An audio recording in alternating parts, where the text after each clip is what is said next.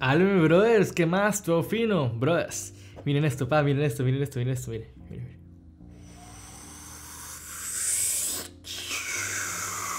Uy, papi, qué calidad esto, ¿no?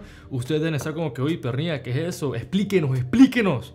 Relajado, bro, relajado, relajado. Esto, pais, esto es un ND filter o Neutral Density Filter, pero se dice ND filter para hacerlo más corto. Esto es un accesorio muy importante y un accesorio que no recibe mucho valor en la industria. Ahora, ustedes deben estarse ahí preguntando por qué. Pues no sé si ustedes han visto mi videito sobre cómo sacarle más a su cámara. Este, si no lo han visto, voy a dejarles las tarjeticas aquí arriba en la esquina y tal. Vamos a ver si sale por ahí. Pero para resumir lo que yo hablo allí, pues este, yo hablo prácticamente que ustedes deberían eh, tomar todas sus fotos o videos en un perfil log o un perfil neutral para que ustedes le saquen el mejor dynamic range o mejor rango dinámico a sus cámaras. Para luego cuando ustedes estén editando sus fotos y sus videos tengan muchísimo más información con la que ustedes puedan jugar. Ahora, si ustedes vieron el videito, ustedes salieron de sus casas todos emocionados a tomar fotos, a grabar videos con perfiles logs, con perfiles neutrales y cuando van a ver, ¡Pum! Su imagen está toda blanca, los cielos se perdieron, no hay detalle, no encuentran qué hacer, subieron el shutter speed y pues ahora los movimientos están todos extraños, subieron la apertura y pues ahora ya no hay background borroso, ya no hay boca, se perdió todo. Ay, si tan solo hubiese algo que me permitiera a mí mantener el shutter speed y pues la apertura al nivel correcto cuando esté filmando en el día, uy, eso sería bien tripeo de pana, pagaría por eso. El ND Filter es para eso, pais. Esto les permite a ustedes mantener sus ajustes a nivel adecuado. Ustedes lo único que hacen es que ustedes agarran el lente y se lo ponen encima.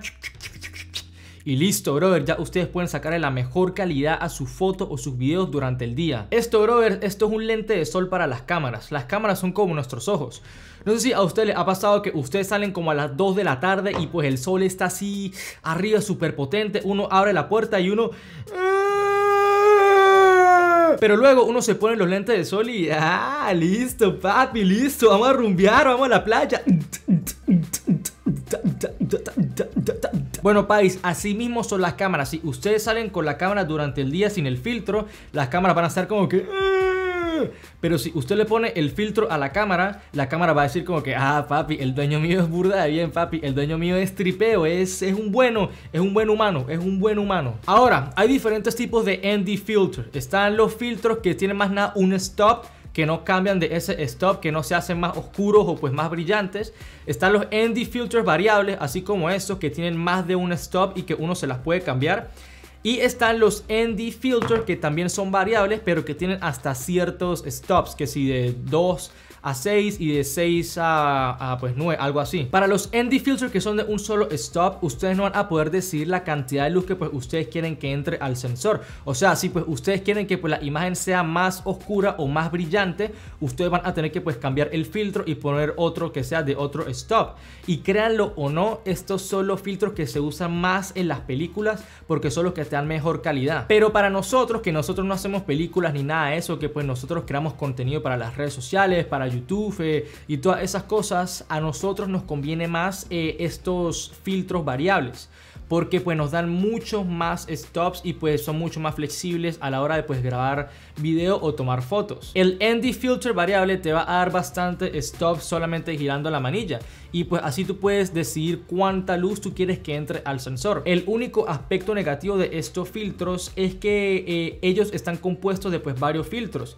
Entonces cuando tú los estás girando, ellos prácticamente están cambiando filtros y pues tú puedes notar en la cámara cuando los filtros cambian y pues esto a veces se ve bastante feo. Entonces allí es cuando entran eh, los ND filters variables hasta ciertos stops.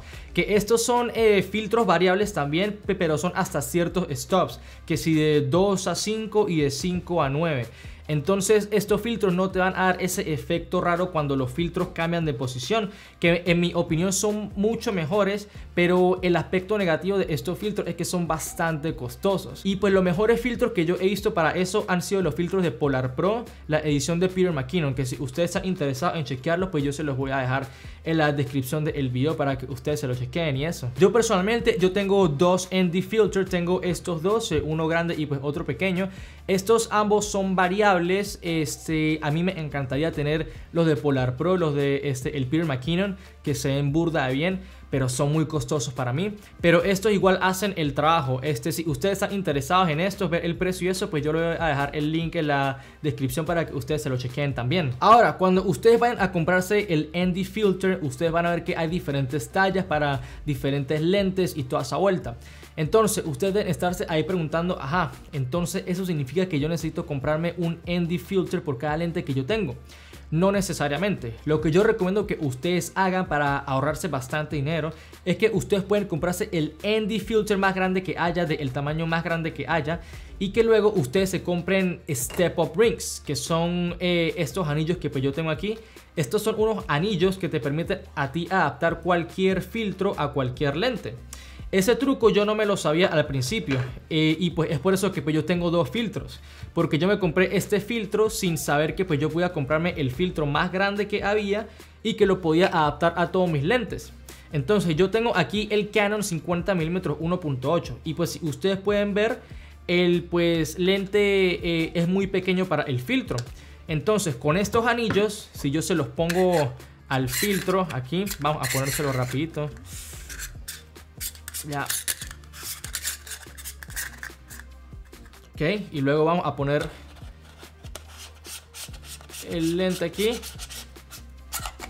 Ups. Listo, papis. Listo, mire. Aquí está el ND filter con el Canon 50 milímetros. Y aquí me ahorré bastante dinero haciendo eso. Y bueno, brothers, eso es todo lo que ustedes necesitan saber sobre los ND Filter y cómo tomar fotos o videos durante el día sin cambiar los ajustes, sin perder calidad y todas estas cosas. Eh, si tienen alguna duda o algo, comenten. Yo voy a tratar de responder todos los comentarios.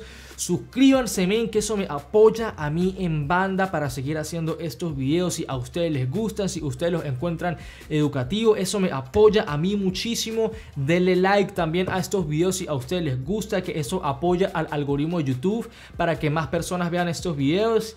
Y bueno, brothers, bueno papi, estamos hablando, man, estamos hablando. Cuídense, cuídense.